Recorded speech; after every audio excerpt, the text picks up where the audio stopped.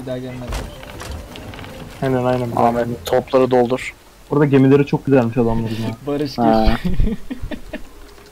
Parlak parlak. Amına koydum şimdi anladım.